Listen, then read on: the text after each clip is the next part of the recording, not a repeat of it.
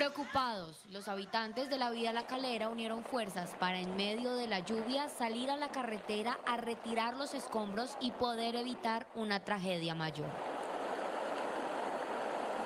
Como el de las 3 de la tarde porque ya nos tocó salirnos en pleno chaparro, no sé cómo estamos. Y menos mal que estaban todos en sus casas y pudimos salir. Desde este punto y hacia arriba el panorama es el mismo. Escombros en la vía, personas removiéndolos.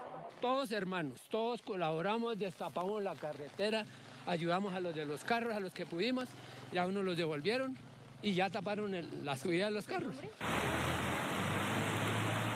E incluso preocupación por afectaciones en la única vía que conduce desde y hacia la calera y los árboles que están ahí, que los talen porque los árboles ya raizaron de tal forma que taparon también la canaleta.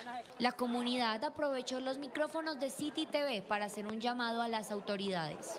Eh, pedimos por favor a la autoridad, a la alcaldía, al ente que sea competente, que por favor drague eso y recupere el caudal de la, de la quebrada, porque eso es lo que nos está afectando. Hasta que no se caen los árboles, pues no, y ortiga con este invierno, todos esos árboles se van a ir al piso. Tenemos heridos, tenemos derrumbes, tenemos palos de la misma entidad, de mismos bomberos que vienen, instalan y dejan en, los, en las orillas de la carretera.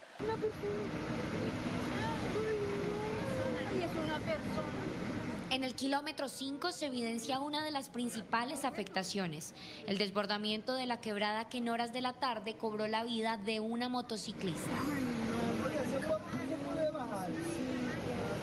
No, y no hay bomberos, no, es que me, se me, Esto es una quebrada y esta quebrada siempre que hay aguacero, siempre que llueve, se desborda. Hoy el aguacero estuvo muy fuerte, pero ya las autoridades y todo el mundo está avisado, pero nunca nos han parado bolas.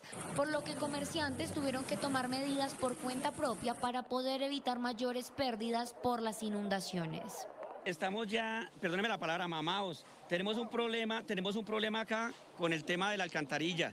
La reducieron a unos tubos muy pequeños, todos estos locales acabados. El señor de todo el supermercado, todo, todo el mundo. Los habitantes de la vía La Calera y el municipio esperan soluciones contundentes por parte de las autoridades donde nuestra comunidad no tenga que venir a nadar después de subir de sus trabajos. Ese árbol está, mejor dicho, Señor, miren esto, Padre Celestial.